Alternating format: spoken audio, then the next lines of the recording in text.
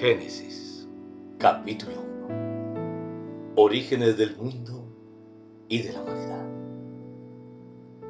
En el principio creó Dios el cielo y la tierra. La tierra era caos y confusión. Oscuridad cubría el abismo.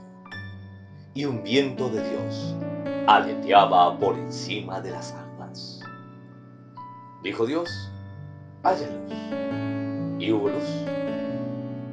Vio Dios que la luz estaba bien, y apartó Dios la luz de la oscuridad. Llamó Dios a la luz día, y a la oscuridad llamó noche. Atardeció y amaneció. Día primero. Dijo Dios, haya un firmamento por en medio de las aguas, que las aparte unas de otras. E hizo Dios el firmamento, apartó las aguas de por debajo del firmamento de las aguas por encima del firmamento. Y así fue. Llamó Dios al firmamento cielo. Atardeció y amaneció. Día Dijo Dios, acumúlese las aguas de debajo del firmamento en un solo conjunto, y déjese ver lo seco. Y así fue. Llamó Dios a lo seco tierra, y al conjunto de las aguas lo llamó mar. Y vio Dios que estaba bien. Dijo Dios,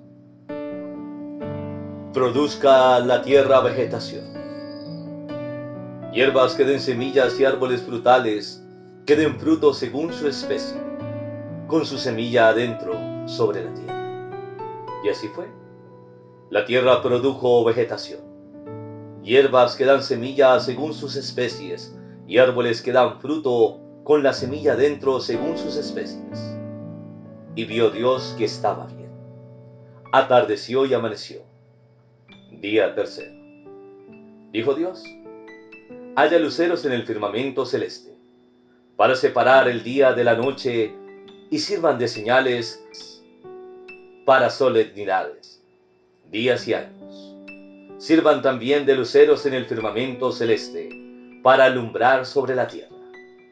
Y así fue. Hizo Dios los dos luceros mayores, el lucero grande para regir el día, y el lucero pequeño para regir la noche, y las estrellas. Y los puso Dios en el firmamento celeste para alumbrar la tierra, para regir el día y la noche, y para apartar la luz de la oscuridad y vio Dios que estaba bien. Atardeció y amaneció. Día cuarto. Dijo Dios,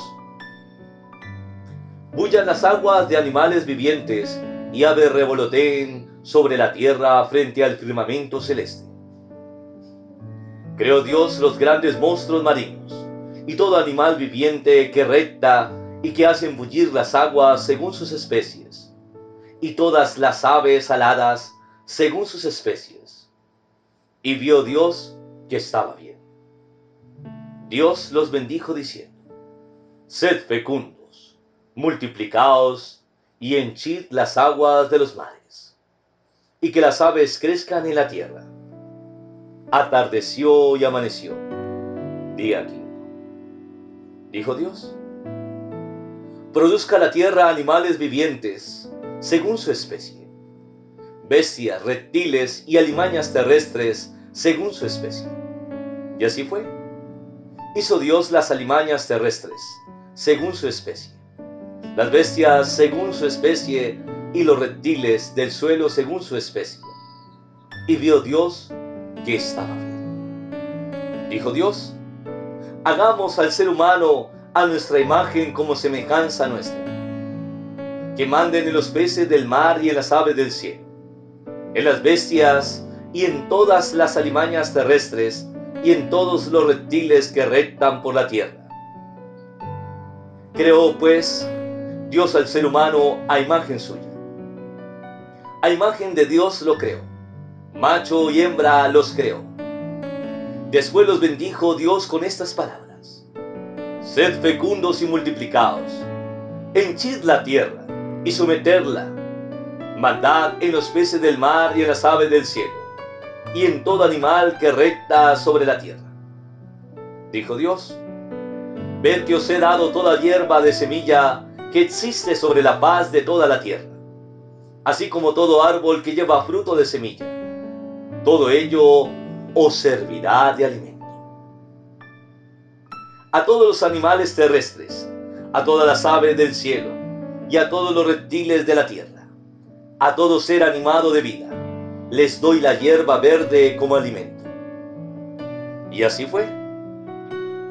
Vio Dios cuanto había hecho y todo estaba muy bien. Atardeció y amaneció.